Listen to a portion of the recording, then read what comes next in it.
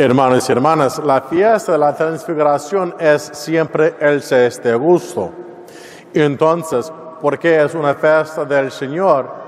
En el tablo de los días litúrgicos es más importante de un domingo en tiempo ordinario.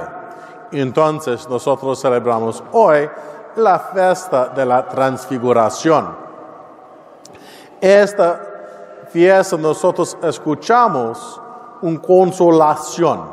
La palabra por la acción del Santo Espíritu de ayudarnos en los momentos de miedo o tiempos de dificultad, la experiencia de la presencia de Dios en esos tiempos, nosotros digamos en la tradición católica, especialmente en la tradición mística, como consolación, y este es un tipo de este tipo de experiencia.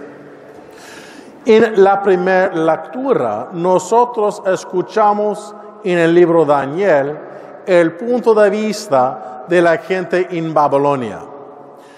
En el libro de Daniel, nosotros escuchamos el perspectivo de la gente en exilio, un pueblo en exilio, un país extranjera afuera de Israel, sin su rey, sin su templo, sin sus tradiciones, sin su tierra. E ellos tienen la pregunta, ¿cómo nosotros vivimos en este lugar extraño con los paganos en un territorio cual es contrario de nuestras tradiciones y experiencia de Dios? Y el libro de Daniel explicaba cuál es la acción de Dios durante ese tiempo. En fato, la visión de Daniel que nosotros escuchamos en el primer lectura es parte de esta misma consolación a la gente en exilio. Eh, Daniel hace esta visión que explicaba cuál es la acción de Dios por ellos, que el exilio y los problemas de tinieblas, la obscuridad no es fin, porque la justicia y el reino de Dios eventualmente conquistará estos problemas. En fato, se lea el libro de Apocalipsis, nosotros escuchamos muchas cosas similares, especialmente cuando nosotros comencemos más o menos el libro 12. Nosotros también escuchamos el fin del mundo. Nosotros también escuchamos de el curia, el corto, el libro, el libro de la vida con los nombres de los justos, mismo en Daniel y también en Apocalipsis. Y en fato se guarda, se ve el icono de Cristo cuando entra a la iglesia, se vista un libro, cuál es el libro de la vida, que abre el libro al fin del tiempo y los nombres de los justos son escribiendo en el libro. Entonces, es, esto es el punto de la profeta, que los libros, en el libro de Dios, Dios recuerda los nombres de los justos. Entonces, la realidad de la oscuridad, la realidad del exilio, la realidad de los problemas actuales son real, pero no es el fin. Es importante nosotros realizamos esta misma realidad con el Evangelio nosotros escuchamos hoy. Es el capítulo 17 de San Mateo. Entonces, claro que sí, Jesús no ya llegué a Jerusalén. Nosotros escuchamos esto porque nosotros sabemos muy bien este es el tiempo de transmovimiento. Jesús va a Galilea y Jerusalén y todos nosotros son buen católicos, recuerda cuál es la resulta. Jesús entra en Jerusalén, pero en oposición y eventualmente la pasión y la muerte de Cristo y la resurrección. Eh, el Evangelio es muy claro que esta es antes de esas cosas, porque diga Jesús, no le hablen a nadie de lo que acaban de ver hasta el Hijo del Hombre haya resucitado de entre de los muertos. Entonces, claramente es antes de la resurrección. Pero este evento es de ayuda a los discípulos, porque en ese momento del Evangelio ya comenzaron el problemas y lo, ah, el chisme y la obsesión a Cristo, eh, cual es eventualmente la cruz y la muerte. Pero antes de esas acciones, Dios envía esta visión de ayuda a los discípulos y también nosotros de comprender que esta muerte no es el fin. La oposición de Cristo no es el fin. Los problemas son reales. Los obstáculos son real. La obscuridad y el miedo es la realidad, frecuentemente también en nuestra vida. Manon es el fin de nuestra vida. La consolación de esta visión es de ayudar a los discípulos de continuar en su programa con Cristo y continúa a través en la dirección de Jerusalén con Cristo. Nosotros escuchamos que este momento es importante y Dios envía dos figuras de la tradición de Israel de ayuda a los discípulos a realizar el punto de la visión. Los discípulos vean Moisés y Elías. Esas dos figuras muy importantes en la historia religiosa de Israel. Nosotros recordamos, claro que sí, Moisés va la gente afuera de Egipto y acompañándolos a la tierra de la promesa. Nosotros recordamos en Éxodo, Moisés va a Egipto y prende la gente afuera de esclavitud y con Moisés la comunidad recibe los mandamientos, el Torah, la ley de Dios, un modo de vivir como una comunidad santa. También nosotros pudimos leer en los libros de los reyes la profeta Elías, el primer profeta clásico. Él es el primer profeta en el tiempo clásico de llama a la gente a regresar el covenanto, que tenga la confianza en Dios de continuar y soportar los sacerdotes y los creyentes, porque Elías vive en un tiempo de dificultad cuando los poder, poderosos afuera de Israel eran grandes y la persecución a Israel era una realidad. Y los discípulos comprenden quién son esas personas porque son importantes en su historia.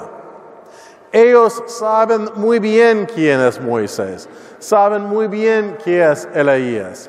E ellos saben su ministerio, eso ayuda a la gente de Israel en las promesas de ellos. Entonces pueden comprender que en Cristo la ley y la profeta recibe la plenitud de Dios y la plenitud de las promesas de Dios es en la persona de Jesucristo. Entonces, en esta visión ellos pueden comprender que Dios da su sigilio, da su acción bondadosa en Cristo y ellos pueden comprender porque es su tradición, su historia, su religión y puede realizar que la ley de Dios recibe la plenitud en Cristo. Las promesas de los profetas son actualidad en Cristo. E ellos reciben este momento de consolación de continuar segue Cristo eventualmente a su pasión y su muerte y al fin de la resurrección. Frecuentemente nosotros tenemos una tentación de pensar de San Pedro quiere remenar allá en la montaña, vero. Diga, escucha muy atentamente que diga el Evangelio, se diga, Pedro, si quieres voy a levantar en ese lugar tres chozas, una para ti, otra para Moisés y la tercera para Elías.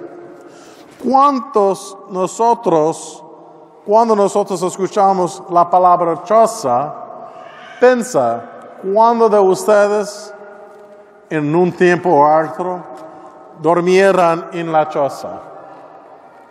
¿A quién acampar? ¿Unos, pocos? ¿Aquí no? ¿Quién quiere remenar por años después de años en una choza? Nadie con buen senso. Claro que sí, no diga edificar una casa, diga levantar una choza. Es una acción temporánea. Si nosotros recordamos en el libro de Éxodo, también es una choza que es la casa de Dios que acompaña los durante el tiempo en el desierto. En Éxodo Dios diga a Moisés, se levanta un choza de encuentro. Y este es un símbolo de mi presencia con la gente. y cuando la nube es en la choza, la gente de Israel saben que Dios es presente. en todo el éxito nosotros escuchamos esto es San Pedro recuerda este muy bien, entonces diga, sí Señor, nosotros continuamos a la promesa, a la tierra promesa, al reino promesa, a la plenitud de la promesa de Dios. San Pedro comprende esto muy bien. Por eso si diga, nosotros continuamos este viaje. Entonces, un choza de indicar la presencia de la ley de la profeta y de Cristo. Pero la voz del Dios diga, ese es mi Hijo amado, al que miro con cariño y al han de escuchar. Los discípulos no quieren continuar al Calvario, no quieren continuar a la pasión. Ellos prefieren un alto strada un otro modo de arribar a las promesas y a la tierra promesa. Entonces nosotros sabemos no es posible, nosotros debemos confrontar la cruz, debemos confrontar la pasión, debemos confrontar la realidad de la muerte de Cristo, a entrar el reino de Dios, a entrar a la resurrección. Entonces, cuando ellos escúchalo, ellos tienen miedo de la continuación, pero es en este momento Jesús también dígalos, levántense y no teman. Cuando nosotros tenemos la realidad de obscuridad o problemas, cuando nosotros tenemos miedo o obstáculo en nuestra vida cristiana, esta es una consolación por nosotros también. La misma visión por los apóstoles es para nosotros también. La consolación por Pedro, Santiago y Juan es por nosotros. Porque nosotros debemos confrontar la realidad del miedo, de obstáculo, de confusión y de obscuridad espiritual. Eso son cosas reales en nuestra vida. Entonces Dios envía esta consolación por nosotros realizar que esos momentos no es el fin. El fin es la promesa de Dios. El fin es la resurrección. La meta no es la muerte, es la resurrección por Cristo y también por nosotros. Durante este tiempo nosotros movimos poco a poco en la dirección de la fiesta Cristo Rey, simbólicamente el fin del tiempo. Mas en este tiempo nosotros también escuchamos de la oposición contra Cristo, los problemas de los discípulos y la pasión y la muerte de Cristo. Y cuando nosotros escuchamos estas cosas, debemos recordar este momento del Evangelio. Eso es una consolación y una promesa por nosotros, mismo con los discípulos. Entonces, podemos realizar que Dios llámanos y díganos en nuestra obscuridad, en nuestra miedo, en nuestras dificultades. Cristo diga a nosotros, levántate y no tema- teman miedo.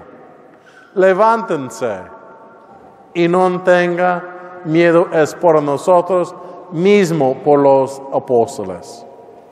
Porque nosotros realizamos el fin, cuál es la re- resurrección. Nosotros realizamos el fin, cuáles son las promesas de Dios. Pero debemos continuar en nuestra dirección a Jerusalén. Debemos continuar nuestra vida cristiana.